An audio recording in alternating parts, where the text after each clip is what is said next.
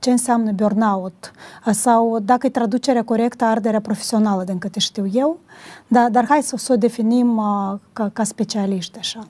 Da, de fapt este sindromul arderii profesionale și dacă e să mergem pe definiție, atunci merge pe ideea de o stare de epuizare emoțională, psihologică, intelectuală și chiar fizică. Deci o stare care cumva e așa un amalgam de toate stările, adăugat la toate astea este partea asta de depreciere în raport cu clienții, cu beneficiarii sau cu persoanele către care se adresează activitatea profesională a persoanei.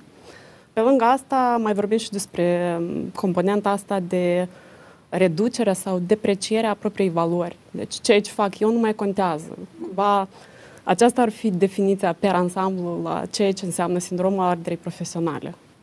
Organizația, Organizația Mondială a Sănătății spune că arderea profesională neapărat trebuie să fie legată anume de, deci burnout-ul, trebuie să fie legată anume de câmpul profesional, deci tu nu poți avea burnout uh, în hobby, da? sau nu poți avea burnout acasă, în familie, deci asta e legată anume de munca ta.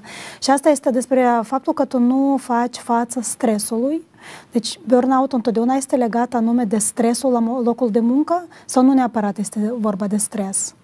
Este vorba și despre stres, dar este vorba de mai multe componente, de fapt, pentru că când vorbim despre stres și de multe ori uh, se face cumva uh, uh, diferența sau nu se vede diferența dintre stresul profesional și arderea profesională, pentru că, de fapt, sunt două chestii destul de diferite și uh, cum le adresăm, la fel, este destul de diferit. Deci, în cazul stresul profesional, da, este o perioadă lungă de timp sau ar putea să fie o perioadă scurtă de timp în care noi ne-am activizat, am devenit așa uh, exagerat emoțional sau cu așa o puternică încărcătură emoțională în tot ceea ce facem.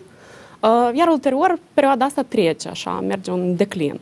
Pe când uh, în arderea profesională este, de fapt, o perioadă lungă de timp când noi suntem supuși atât la stres, cât și la mulți alți factori, cum ar fi Uh, este o încărcătură de sarcini care nu sunt proporționale cu timpul care îl dedicăm sau cu efortul care îl depunem. Uh, fie este vorba despre niște procese care au loc în cadrul organizației sau cadrul instituției în care lucrăm, care sunt cumva, ne pun mai mulți piedici decât ne ajută. Deci comunicarea cu colegii sau colegele care devine defectuoasă în loc să ne ajute în procesul de muncă. Deci sunt mai multe componente.